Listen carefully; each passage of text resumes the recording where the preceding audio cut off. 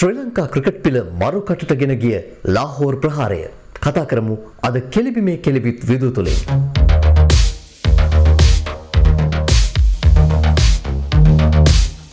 අයිබොන් විදවේස්ලා හැමෝටම ශ්‍රී ලංකා ක්‍රිකට් කණ්ඩායමක් පාකිස්තානයේ යළිත් සංචාරයක නිරතවීම මේ දවස්වල ක්‍රීඩා ක්ෂේත්‍රය වගේම රටම උණුසුම් කරපු මාතෘකාවක් බවට පත් වුණා. මේ සංචාරයට සහභාගී වීම ක්‍රීඩකයන් 10 දෙනෙක් ප්‍රතික්ෂේප කරද්දී සමහරු මේ ක්‍රියාව අනුමත කළා තවත් සමහරු ඒ පිළිබඳව විවේචන ඉදිරිපත් කළා. ඉතින් මේ හැමෝටම ලාහෝරේදී 2009 දී ශ්‍රී ලංකා ක්‍රිකට් කණ්ඩායම ඉලක්ක කරගෙන එල්ල වෙච්ච ප්‍රහාරය පිළිබඳව හරියාකාරයෙන් මතකයක් නැද්ද කියලත් විදුවට හිතුණා. ඉතින් ඒ නිසා තමයි ඒ අඳුරු බිහිසුණු මතකය අද දවසේදී අවදි කරන්න විදුව කල්පනා කළේ.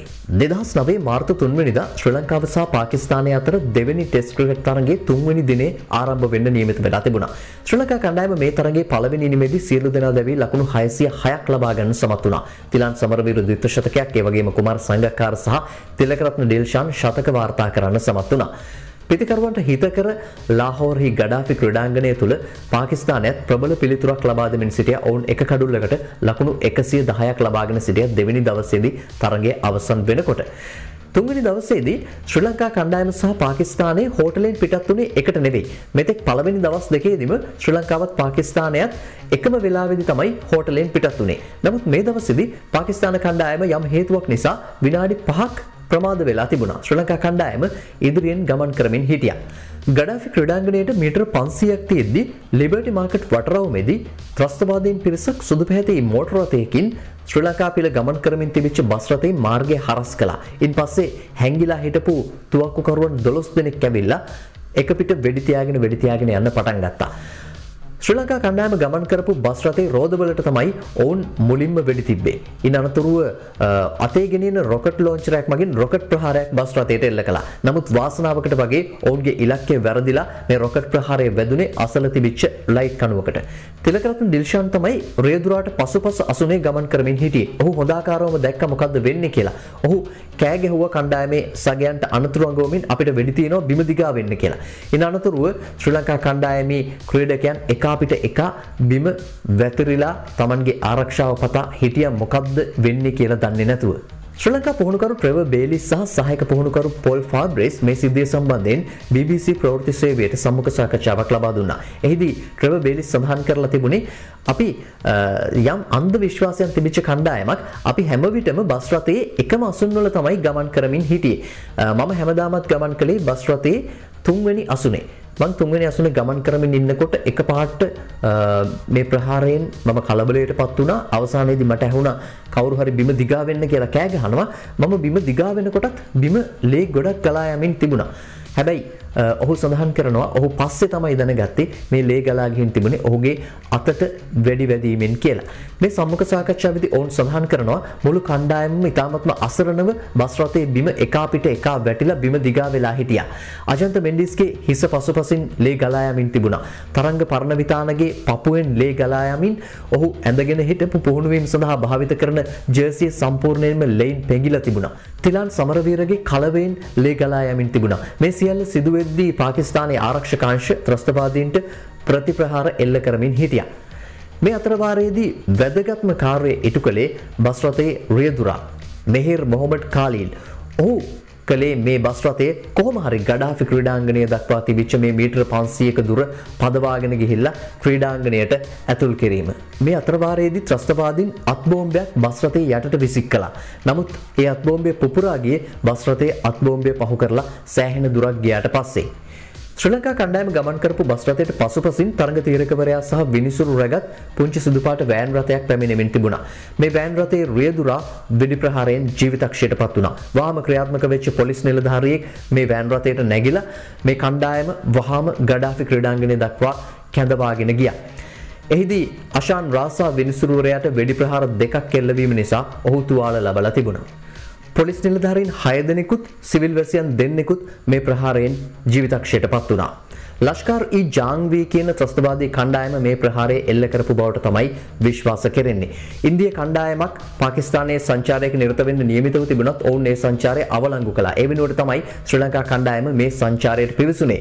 ඔවුන්ගේ ඉලක්කය අරමුණ මොකක් වෙනුවෙන්ද කියන කාරණය පිළිබඳව නිශ්චිතව පැහැදිලි නැති වුණත් ඔවුන්ට අවශ්‍ය වෙලා තිබුණේ ශ්‍රී ලංකා කණ්ඩායමේ ක්‍රීඩකයන්ට මරණීය තර්ජනයක් බොහෝ විට ක්‍රීඩකයන් ජීවිතක්ෂයට පත් කිරීම කියන කාරණය බොහොම පැහැදිලි. ඒ වගේම පාකිස්තාන කණ්ඩායම ප්‍රමාද වෙලා පැමිණෙනවා ශ්‍රී ලංකා කණ්ඩායම කලින් පැමිණෙනවා කියලා හෝටලේ හිටපු ඔවුන්ගේ ඔත්තුකරුවන්ගෙන් ඔවුන්ට තොරතුරු ලැබිච්ච බවටත් විශ්වාස කරනවා. මේ සටනේ සැබෑ වීරයා වෙච්ච මෙහෙර් කාලිල්ට පාකිස්තාන රජයෙන් තම්ගායි සුජාත් කියන වීරයන්ට පිදෙන සම්මානය පුද කරලා තිබුණා. ඒ වගේම ශ්‍රී ලංකාවේදීත් ඔහු වෙනුවෙන් උපහාර උළෙලක් සංවිධාන කෙරුණා. අජන්ත මෙන්ඩිස් ක්‍රිකට් පිටියෙන් සමුගන්නා මොහොතේදී කාලිල්ට විශේෂයෙන්ම ස්තුති කළා. ඔහු එදා කරපු කාර්යයෙන් නොවෙන්නට ශ්‍රී ලංකා කණ්ඩායමේ බොහෝ දෙනෙක් වර්තමානයේදී ජීවතුන් අතර නොසිටින්න ඉඩ තිබූ බව අජන්ත බොහොම සංවේදීව සඳහන් කළා. මේ ප්‍රහාරයෙන් සංගා මහේල සුරංග ලක්මාල් සහ චමින්ද වාස් සුළු තුවාල ලැබුවා. ඉතින් මේ තුවාල ලැබපු මේ අත්දැකීමට මුහුණ දීපු ක්‍රීඩකයන්ගෙන් මේ කතාව අහපු ක්‍රීඩකයන් හෝ මේ අත්දැකීමට මුහුණ දුන් ක්‍රීඩකයන් යලිත් පාකිස්තානයට යන්න කැමැත්ත පළ කරනවා නම් ඒ තමයි පුදුම විය යුතු කාරණය. වාසනාවකට වගේ එදා ක්‍රීඩකයන් හෝ විනිසුරුවරු මේ කිසි කෙනෙක්ට ජීවිත හානි සිදු වුණේ නැහැ. එහෙම වුණා නම් මේ තත්ත්වය මීට වඩා ගොඩක් වෙනස් තත්ත්වයක් බවට පත්වෙන්න ඉඩකඩ තිබුණා. ඒ වගේම වර්තමානයේ පාකිස්තාන අග්‍රාමාත්‍යවරයා ඉම්රාන් කාන් මිට අවුරුදු 10කට කලින් ඍජුවම මේ සම්බන්ධයෙන් පාකිස්තාන ආරක්ෂක අංශවලට චෝදනා කළා. ඔහු කිව්වා දේශපාලකයන්ට ලබා දෙන ආරක්ෂාවෙන් 10න් එකක් ලබා දීලා තිබුණා නම් මේ වගේ අවාසනාවන්ත සිද්ධියක් සිදු නොවෙන්න තිබුණා කියන කාරණය. ඉතින් අනිවාර්යයෙන්ම වර්තමානයේදී ඔහු මේ ආරක්ෂාව පිළිබඳව පුද්ගලිකවම මැදිහත් වෙලා විශේෂයෙන් සලකා බලනවට කිසිදු සැකයක් නැහැ. සමහරු මගෙන් හයි ඔයා බලන් හිටියද මේ විස්තර මේ විදිහට කියන්නේ කියලා. මේ සම්බන්ධයෙන් පළවෙච්ච සම්මුඛ සාකච්ඡා ක්‍රීඩකයන් විනිසුරුවරු ලබා දීපු සම්මුඛ සාකච්ඡා අධ්‍යයනය කරලා ඉතාමත්ම කෙටියෙන් තමයි මේ විස්තරය ඔබට ඉදිරිපත් කළේ. මේ සිද්ධියෙන් පස්සේ වහාම ක්‍රියාත්මක වෙච්ච පාකිස්තාන රජයේ හෙලිකොප්ටරයක් මගින් ශ්‍රී ලංකා කණ්ඩායම සහ මේ නිලධාරීන් ගුවන් තොටුපළට අරගෙන ගිහිල්ලා එසැනින්ම තිබිච්ච ගුවන් යානයකින් ඔවුන් නැවතත් ශ්‍රී ලංකාව බලා පිටත් කරලා එව්වා. සතියකින් බොහෝ දේවල් අමතක වෙන જાතියක් අපි අපිට මේ සිද්ධිය අමතක වුණාට මේ සිද්ධියේදී ඇඟවල් වලට ඇතුල් වෙච්ච උණ්ඩ කෑලි තාමත් අපේ කොල්ලන්ගේ ඇඟවල් ඇතුලේ තියෙනවා කියන කාරණේ අපි අමතක කළ යුතු නෑ. ඉතින් මේ සිද්ධියට මුහුණ දීපු අපේ ක්‍රීඩකයෝ වගේම ත්‍රස්තවාදීන්ගේ අමන රුදුරු ප්‍රහාරවලට ගොදුරු වෙච්ච දහස් ගණනක් මිනිස්සු ඒ වගේම දහස් ගණනක් රණවිරුවෝ මේ රටේ ඉන්නවා කියන කාරණයක් අපි අමතක කළ යුතු නෑ. කිසිම දෙයක් නොදැන කිසිම වරදක් නොකර අමානුෂික ත්‍රස්තවාදීන්ගේ අමන ප්‍රහාරවලට ගොදුරු වෙලා ජීවිත කාලයේම විඳවන මිනිස්සු වගේම ඒ මිනිස්සු ආරක්ෂා කරගන්න රට ආරක්ෂා කරගන්න ඉදිරියට ගිහිල්ලා ජීවිත කාලයේම මෙරි මෙරි ජීවත් වෙන රණවිරුවොත් ඔවුන්ගේ පවුල්වල උදවියත් ලක්ෂ ගාණක් මේ රටේ ඉන්නවා කියන කාරණයත් අපි මතක තියාගන්න ඕනේ. ඔවුන්ට දිය යුතු නිසි ගෞරවය දුන්නොත් තමයි අපිට රටක් විදිහට ඉදිරියට යන්න පුළුවන් වෙන්නේ. එහෙමුණොත් තමයි මිනිස්සු රට වෙනුවෙන් Tamanගේ සගයන් වෙනුවෙන් කැපකිරීම කරන්න ඉදිරිපත් වෙන්නේ. ඒ කැපකිරීම කළොත් ඒ කැපකිරීම් වලට නිසි ගෞරවය දුන්නොත් අපිට රටක් විදිහට ඉදිරියට යන්න හැකියාවක් තියෙයි. කැපකිරීම් වලට හරි වටිනාකමක් නොලැබුණොත් කිසිම මිනිහෙක් Tamanගේ රට වෙනුවෙන් Tamanගේ සගයන් වෙනුවෙන් කැපකිරීම් කරන්න ඉදිරිපත් වෙන එකක් නෑ. එහෙමුණොත් අපිට රටකුත් අනාගතයකුත් නැති වෙයි. ඒකත් මතකේ තියාගන්න. අපි තවත් දවසක හම්බ වෙමු. ජය වේවා හැමෝටම.